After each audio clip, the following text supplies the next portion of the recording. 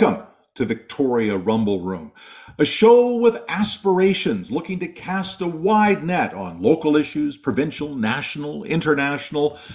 I'm Robin Adair, and um, our international representative of note, uh, standing in for the nation of Croatia, or at least he's a watered down product of the nation of Croatia. My co host with the most, the Croatian sensation himself, John Jurisic. And John, as usual, there's so much going on overwhelming amounts of stuff to talk about. No kidding, Robin. You know, we had former MLA Sheila Orr on for a short segment this past week. And boy, oh boy, did she take off the gloves regarding Justin Trudeau. She doesn't doubt the accusations of the Chinese government interference in our elections, as many of us share those opinions. And she doesn't doubt that Justin faces a loss when he next goes to the polls yet again, I think shared by many of us. So many reactions to Sheila's comments, a flood of comments, especially on YouTube. Karen writes, for example, the voters want him gone and a public inquiry now. And Ernie had this to say Ms. Orr is absolutely correct when she says Trudeau doesn't care what the public thinks. He adds, he, as in Trudeau, he's a preening narcissist who has always been and always will be grossly underqualified in his office. And Virginia says this about Sheila Orr's comments tragically true. so let's hear a little bit more from Sheila Orr and what generated so much excitement on the internet, especially YouTube, starting with her belief that it's not just Justin Trudeau who doesn't want to go because he has a whole team behind him that don't want to lose power. We all forget that it's not the the one man and his family. It's all these other people around him. We all know this that all have their salaries from that department. You know, it's a big machine. Everyone's employed, um, and they're all happy being there. So nobody actually sits down and tells the truth. They say, oh no it's going to be fine. Don't worry don't worry mr mr prime minister. You're very popular. Half of the country is saying well actually you're not and we would like an election yeah. but the others are saying no no you're fine. So this whole chinese um, um, situation you would think it would actually bring him down but because they do have a very interesting and good crisis management team they uh, they actually um, i think will ride it through they usually do. Sheila, that leads perfectly into my question. Uh, first of all, great to have you back. Love speaking to you, as do our viewers. So that is a, a, double whammy for the Rumble Room. Um, Except for the ones that actually phone in and complain, but that's good. but they watch they watch you twice as much, Sheila. Yeah, well, that's good. I'm a big Guess believer in good debate. I love good debate, and bless them, keep it keep it coming. Well, okay, now I'm going to really prompt you because guess who we're going to talk about? Pierre Poilievre. Yeah. and I uh, can't imagine how you're going to react given your long history as a federal liberal, but just the same, he has had some huge crowds on huge. Vancouver Island. I mean, I am not kidding. But just the same, uh, you know, he was recently in an air hangar in Sidney. We got pictures of that. And it was like, what is going on here? It certainly reminded Robin and I of of some past meetings mm-hmm. with somebody named Preston Manning. Do you mm-hmm. sense that this Pierre Poilievre stuff is reminiscent of that time and the Reform Party uh, sort of growing? certainly a growth. There's no question about that. Uh, as you know, I'm a federal liberal, dislike my prime minister intensely, but, but still I'm a federal liberal. I'm not ju- ju- jumping ship. uh, my husband is a conservative we live with that in this house and uh, we get by it, especially election time. But there you are. He is a hardcore conservative, and he's been going to these meetings, and there, and he comes back and tells me. Obviously, I don't go. What is happening? Which is, uh, and he comes back and he reports all the federal liberals that are at those meetings. So a lot of federal liberals have actually gone to these meetings, and I'm hearing my, you know, my my peer group or the people that uh, have been involved with ha, ha, have jumped ship I mean, um, federal liberals are pretty good at sticking to what they believe in. That you know, you're a federal liberal, you're a federal liberal. But uh, yeah, no, um, the crowds are huge. He's gaining momentum. What are you hearing is going on in Toronto and Quebec with this guy? Well, I'm not hearing. I mean, I think he's still getting crowds there. Will he be able to pull in Quebec? Uh, let's be honest. The elections are won over there. Mm-hmm. However, when you see somebody gaining momentum in the West like he has, believe me, the East is looking. How can he get these crowds? You know, it's it's it's like anything. You know, when you see a, it's like a, a rolling snowball, just gets bigger and bigger and bigger. Sheila, she's always so colorful, and uh, we'll be bringing her back again in, in a few weeks' time to talk about the coronation and Harry and Meghan, always favorite topics. But let's shift over now to issues directly surrounding Vancouver Island, uh, many ramifications around the country on this story. And uh, we're talking right now about Island Rail and the mm-hmm. focus mm-hmm. on uh, swinging over to First Nations and reconciliation, and that that needs to be dealt with before any final decision can be made on the future of the rail. Long term viewer of our program, Richard, who hails from Comox, very eloquent in his response to this. And uh, this is what he has to say about the rail corridor. He writes, with all the closures of sawmills, pulp mills, and other industry, I cannot fathom that it would be worth the investments to resurrect a rail line which in its heyday couldn't make a go of it. And Richard goes on to say, I think the government should develop walking and biking trails along the old rail line and encourage walking and riding tourism instead. And it's certainly not the first time we've heard this argument, John. Absolutely, Robin. Uh, you know, this issue isn't dead, but I think the trend lines don't look good for rail. I think it looks good for commercial rail, but, you know, summarizing a progress to date, I don't think we're getting anywhere with that. However, I am a bike rider, an e bike rider, and I would love to see more bike trails. But, you know, someone has to pay for that. But let's shift again, Robin, okay? Because there's so much news. And there, frankly, is so much crime on our city streets. Come on. Come on, governments. Get with the program and try to fix this. Vancouver's problems with drugs and crime has spread across the province and certainly now taken hold in Victoria. Come on. It's it's a terrible dilemma, and the businesses are really struggling with this. They already have staffing shortages, supply chain issues, and of course now they're doing all this interesting stuff to make sure we pay more for parking earlier and later in the day.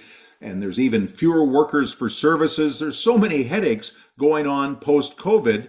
And uh, so we wanted to hear a good, clear voice from business, not an official voice necessarily, but a typical business reaction to what's going on and what is going wrong. And boy, did we find the right person representing uh, business issues on the streets of Victoria. David Schneider is from Schneider Wealth Management of Aligned Capital Partners. He's deeply concerned about Victoria's direction. He talks every day with numerous business owners, and he joins us now. Let's zoom him in. Well, now joining us for the first time in the Rumble Room is a Schneider Wealth Management Advisor David Schneider, here to talk about the state of Victoria from a business person's perspective, a perspective sadly lacking in media. Welcome to the show, Dave. Yeah, thanks for having me, gentlemen. Congrats Absolutely. On, congrats on your show. It's uh, I'm glad the popularity is building. Well done. Yeah, it sure is. Uh, it sure is. We keep hearing that our supportive housing is dangerous. Well, at the same time, there are plenty of tents on city boulevards and plenty of problems. David, what do you think when you hear that City Hall, and certainly what does your network hear about when City Hall wants to cut the police budget? Yeah, it's uh, it's disturbing. Uh, we saw a lot of this in the United States. The push two three years ago when there was a movement. Um, probably the biggest thing of the business leaders I talked to before this telecast is that we need public safety, um, perception and actual, or we're not going anywhere. Um, so when there is funding that's needed, I think for, first and foremost is is on the policing side. we're extremely fortunate, probably having one of the best police chiefs we could have in all of Canada. It's disturbing when I hear things are being cut back because the crime is what's causing the cascade of effects throughout um, the community, the safety of the community. And as we're finding out, businesses are leaving downtown, and then that cascades into more problems because people don't feel safe downtown you start to wonder what our downtown is going to be all about. You hear that uh, there's a lot of people since the co- uh, the COVID pandemic that want to stay and work at home. So a lot of government offices suddenly won't have as many civil servants walking around. The rest of downtown really relies, for the most part, on tourism and hospitality but I don't know how hospitable it is for these uh, businesses. And uh, you keep hearing about long-standing businesses that are thinking about pulling up and leaving. I mean, you you you go downtown quite a bit. Uh, how much do you think Victoria has changed over the last few years? I think I think it's changed dramatically, and and I really feel uh, to share something I've been sharing for many months now with my investment network and with my community leaders and friends here in Victoria in the last three years since COVID started, we've had the perfect storm. And a community like Victoria, I think, has been hurt on a percentage basis more than anything else. And let me explain. First of all, um, it hurt the hospitality and tourism sec- sector second to none for almost two years, wiped it out. Um, it does come back a bit, but hospitality doesn't fully come back. Um, we have found out that the lockdown measures in many cases were too much and it's hurt us tremendously.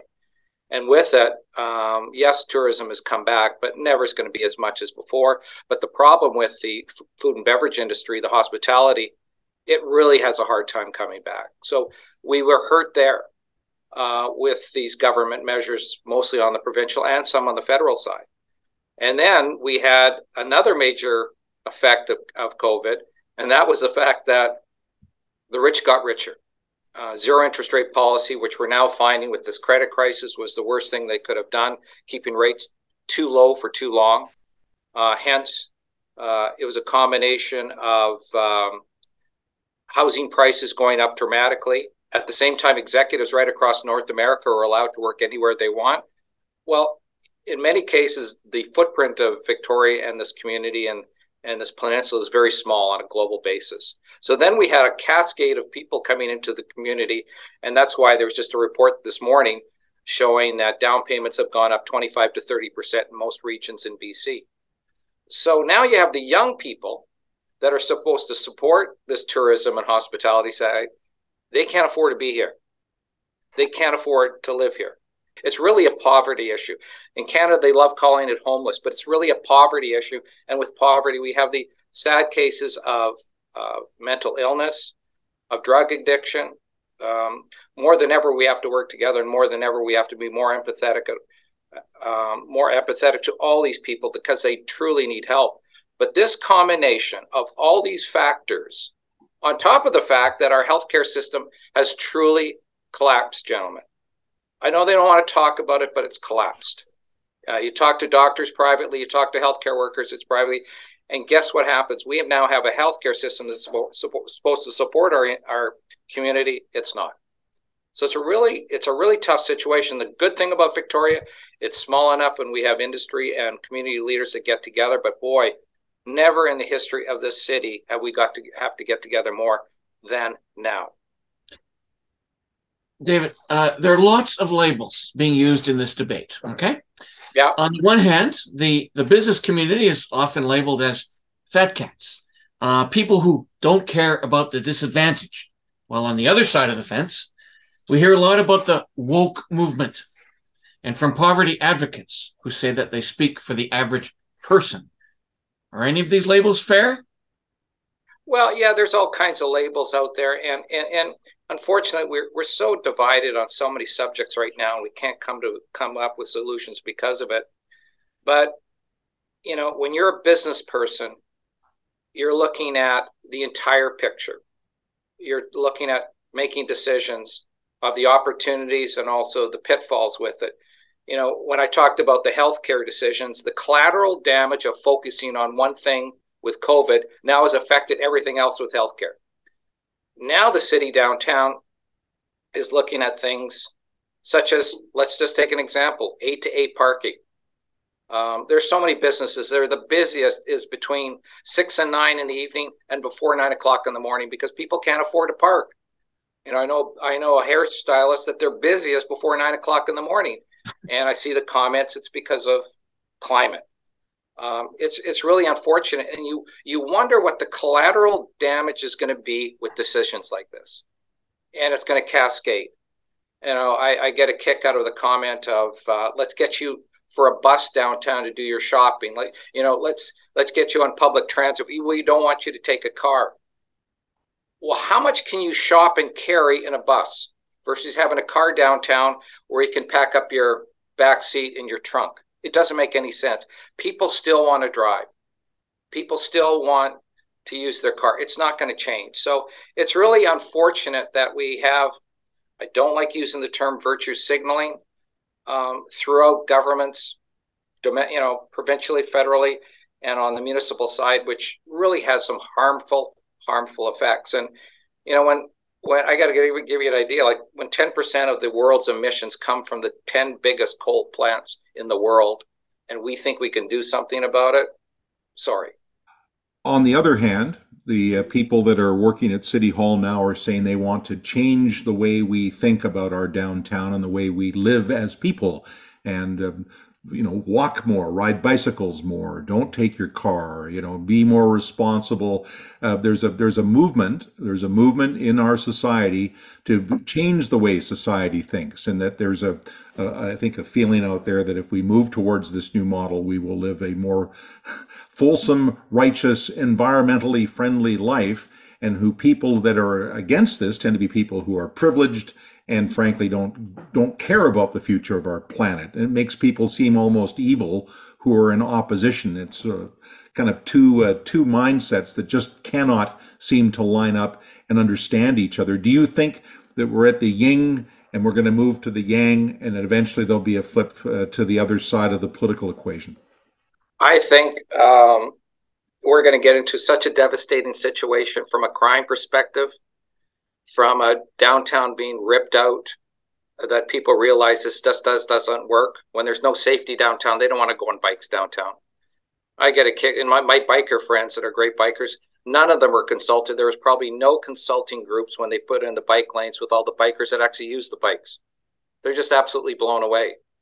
Um, no it's you know i know it's really nice and we're we're doing things but i'll be honest with you gentlemen there are some really really good mayors that connect with my resource development people in BC that are doing all the collaborative work with the resource sector, government, First Nations communities. They know that we need resource projects to keep this economy alive and to pay for everything. And they're doing it quietly behind the scenes, but they get it because they're seeing their operating statements at the municipal level. And, and the numbers don't work unless we have economic activity housing will kind of hold up, but now we're seeing the problems of taxing too much on housing. Um, it's causing the problems with, you know, too expensive to do a 1,000 square foot of condos because so much of it's taxes now. Um, you know, there are there are community leaders, there are municipal leaders that get it. Um, I really just hope they get it here locally because, uh, you know, as I said, the perfect storm. It is just absolutely cascading because then then all of a sudden we don't have money for really important projects. Um, we, you know, I, I, uh, I wrote down what the probably the biggest capital investment strategies we need is we need the funds for a new crystal pool. Um, you know, Ship Point needs to be resurrected and properly developed, and and we, like other major communities that are also destination spot for tourism, we need a library that is our hub for our community, like there there it is throughout Europe and other cities in Canada but they're going to be told there's not going to be any money. Well, money needs business. And when you see these businesses, many of them now going up to Saanich, up to up to uh, Uptown, yeah, the rents are quite a bit expensive up there, but it's safer, and that's where their customers want to go. Uh, they're leaving downtown, going to Oak Bay. Um, they're going out to Sidney.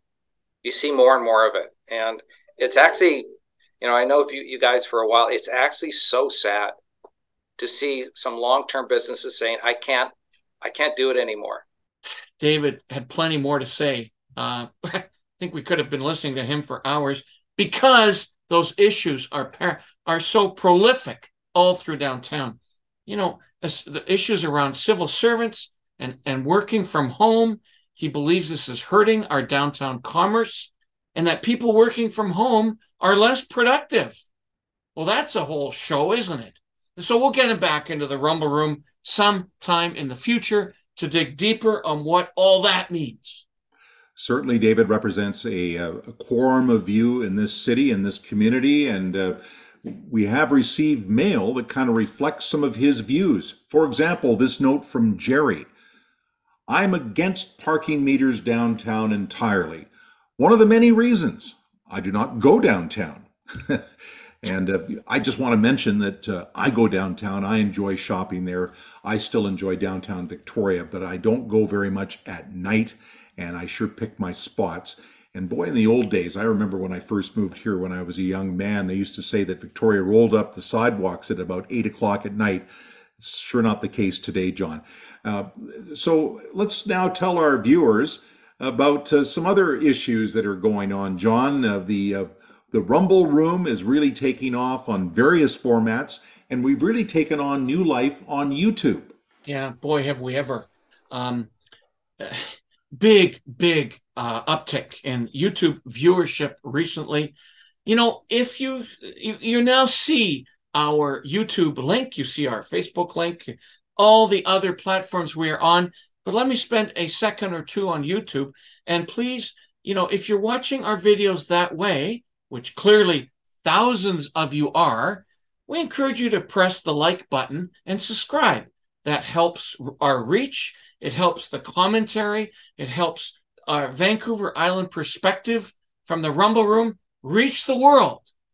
And it appears that that is happening. So I encourage you to join all of our platforms. But today, click on that YouTube uh, like button and subscribe. What a show! What commentary! What reaction? Oh my gosh. So looking forward to next week when we talk about museums and tourism with local MLA. It is local. I'm going to say that to our folks who are watching from afar. BC Minister Lana Popham. That should be really fun for now and forever. I remain John Jurisic. And uh, I just want to thank all of our viewers. This is our two year anniversary time and uh, we've reached almost 900,000 views. So thank you very much for that. I'm Robin Adair, and rumble on!